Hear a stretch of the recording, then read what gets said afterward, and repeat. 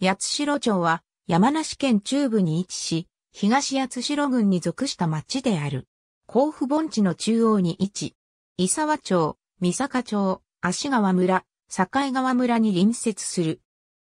北西から南東にかけての太上町域で、北西端には笛吹川が流れる。南部は浅川線上地の平坦地で、南部は三坂山地の山麓部。三坂山地の山麓から浅川線上地にかけての一帯には、縄文時代からの遺跡が濃密に分布する地域で、縄文前期の集落遺跡である、花鳥山遺跡は、重骨や魚骨、剣花やエゴマなど、当時の食生活に関する幅広い自然資料が出土した遺跡として知られる。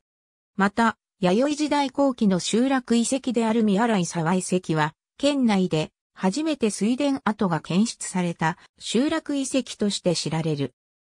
甲府盆地では、盆地南縁の曽根丘陵において、東海地方経由での古墳文化が展開し、古墳時代前期には、大和王権の影響を受けた前方後円墳である海長静塚古墳を中心とした中道勢力が出現するが、曽根丘陵の東端に属する町域では、同時期の岡長静塚古墳をはじめとして、前方後円墳や、県内唯一の宝墳である米倉の龍塚古墳など、数多くの古墳が分布している。特に、岡長静塚古墳は、中道勢力の名手墳と考えられている。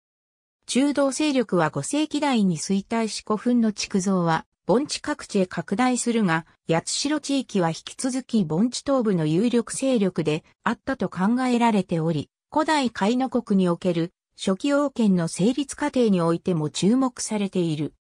古墳後期から奈良時代、平安時代にかけての集落遺跡も分布し、長井の湯河寺からは、開国部山寺と同藩の軒平河原が出土している。古代の律令成果では、八代郡に属し、八代里と長江里に否定される。八代号は、軍名の由来にもなっており、八代軍家が所在した地であると考えられている。町域には、北西から南東に、海の国府と東海道を結ぶ感動である、若彦が通っており、日本穂高に関する伝承も残されている。平安時代には、熊野車両となる八代層が成立し、長官関門に見られる国主と荘園領主の対立から国主側が敗北した荘園帝廃事件が起こる。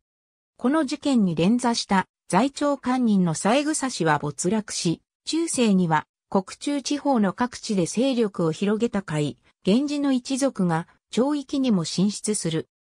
天正10年6月の天正神後の乱では、三河国の徳川家康、相模国の北条氏直が、会の計略を行い、五北条氏は軍内領を制圧すると、さらに鎌倉街道沿いの三坂峠に所在する三坂城を改修し、徳川方を圧迫した。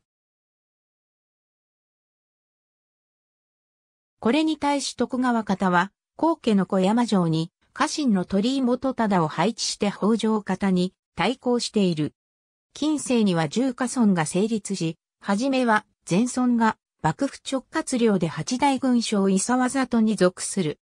村々は、旗本領や甲府藩領、甲府神殿藩の分治領などを経て、享保9年には海一国の幕府直轄領下に伴い再び前村が幕領、伊沢大官所支配となるが、五三協領の創設に伴い四家村が田安家領となる。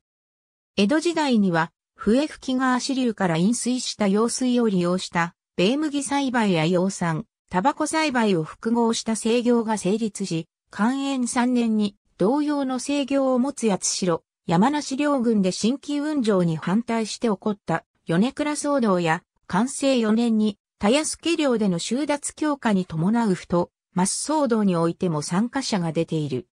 明治には、県の基幹産業として奨励された養蚕が広まるが、明治40年の大水害の被害や養蚕不況の影響を受け、小作人が増加する。